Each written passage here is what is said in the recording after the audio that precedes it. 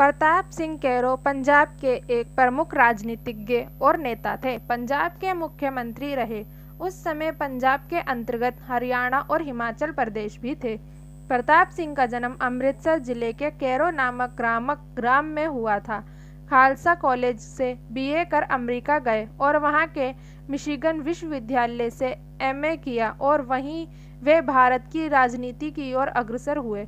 भारतीय स्वतंत्रता के लिए अमेरिका में गदर पार्टी के नाम से जो संस्था स्थापित हुई थी, उसके कार्यों में आप सक्रिय रूप से भाग लेने लगे। भारत वापस आने पर 1926 ई में वे भारतीय राष्ट्रीय कांग्रेस में सम्मिलित हुए और तब से स्वतंत्रता प्राप्त होने तक कांग्रेस के आंदोलनों में आंदोलनों में निरंतर भाग लेते रहे और जेल गए।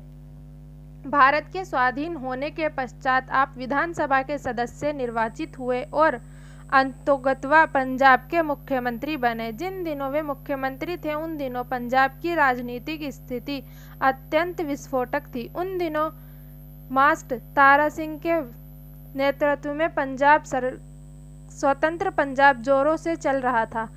प्रांत में एक प्रकार की अराजकता मची हुई थी। कैरो ने अपने सुदृढ़ व्यक्तित्व और राजनीतिक दूरदर्शिता से आंदोलन का सामना किया और उनकी कूटनीति आंदोलनों के मुख्य स्तंभ मास्टर तारा सिंह और संत फतेह सिंह के में फूट उत्पन्न करने में सफल हुई तथा आंदोलन छिन्न भिन्न हो गया। वे एक स्थिर और प्रभावशाली शासक के रूप में उभरकर सामने आए। उन्होंने अपने प्रदेश की आर्थिक अवस्था को विकसित करने का स्वर्गीण प्रयास किया।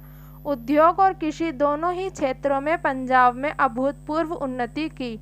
उन्नीस सौ बासठ ई में जब चीन ने भारत पर आक्रमण किया तो कैरो ने अपने प्रदेश से जन और धन से जैसी सहायता की, वह अपने आप में एक इतिहास है। इस प्रकार की महत्ता के बावजूद उन पर वैयक्तिक पक्षपात और भ्रष्टाचार के आरोप लगे और उन्हें उन्नीस ई में मुख्यमंत्री पद का त्याग, परित्याग करना पड़ा।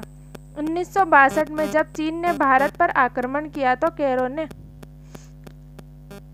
बहुत सहायता की। उन्नीस में शिरोमणि अकाली दल में सम्मिलित होकर भारतीय स्वतंत्रता संग्राम में भी योगदान दिया। कैरो ने असहयोग आंदोलन में भाग लिया और 1932 में पाँच साल के लिए जेल में बंद कर दिए गए। उन्होंने भारत छोड़ो आंदोलन में भी सक्रिय रूप से भाग लिया। प्रताप सिंह कैरो ने अपने मुख्यमंत्रित्व कार्यकाल में विकास के कई कार्य पूरे किए। इनमें मुख्य भाखड़ा नागल बाँध कुरुक्षेत्र और पटियाला की पंजाब यूनिवर्सिटी, लुधियाना का कृषि विश्वविद्यालय, हिसार का पशु चिकित्सा कॉलेज प्रमुख थे। इन्होंने पंजाब के औद्योगिकरण के लिए भी कई कदम उठाए। उसके कुछ ही दिनों बाद 1965 के प्रारंभ में एक दिन जब वे मोटर कार द्वारा दिल्ली से वापस लौट रहे थे। मार्ग में कुछ लोगों ने उन्हें गोली मार दी और तत्काल उनकी मृत्यु हो गई।